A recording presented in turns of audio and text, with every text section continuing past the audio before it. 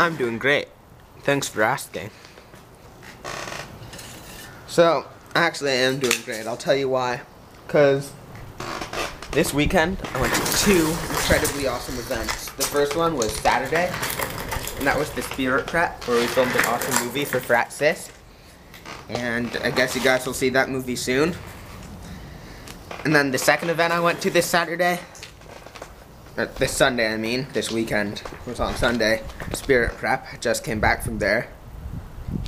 Not Spirit Prep. What am I talking about? There. This Sunday, just came back from a stand-up event with Chai. And Chai, in case you don't know, they're this really annoying girls chapter that no one likes. They're so annoying. Who's a fucking superstar now? No, but seriously, the event with Chai, the stand-up event, was really helpful. We learned about my new red shoes, which is our stand-up cause, which we will be helping out with and donating to, um, giving new shoes to poor people that are in need of clothes. So yeah, we learned about that, and we also had a good time. And there are also some events coming up this week. I'll have more about those later.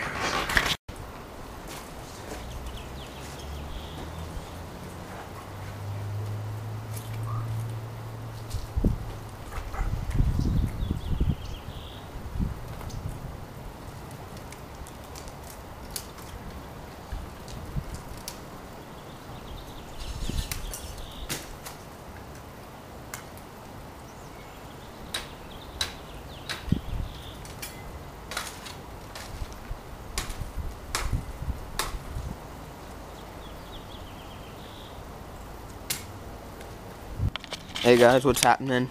I'm kind of in a tree now.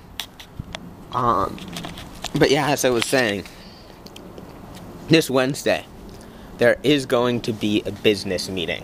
So you guys should come to that. It's at normal time, 7 to 9 at the PJCC. Um, and we are going to go over business. Probably uh, get the themes for Frat Sis.